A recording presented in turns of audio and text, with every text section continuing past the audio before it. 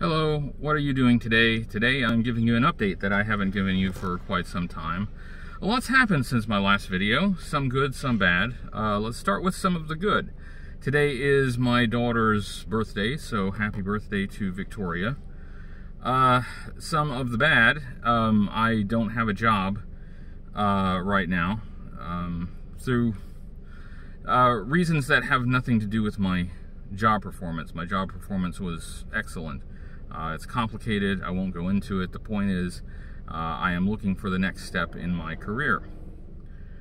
Uh, a bit of good news is that um, as far as finances go, I'm okay for several months, uh, which takes some of the pressure off me as far as the job hunt. But I am actively seeking uh, the next step in the career.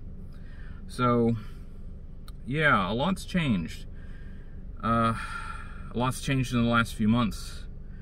A lot has changed this year. Um, not all of those changes are welcome. Some are.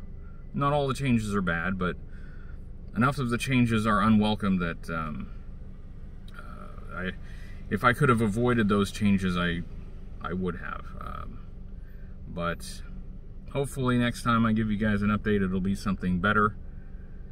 Uh, but that's the state of things right now. Thanks for watching, and I will uh, talk to you soon.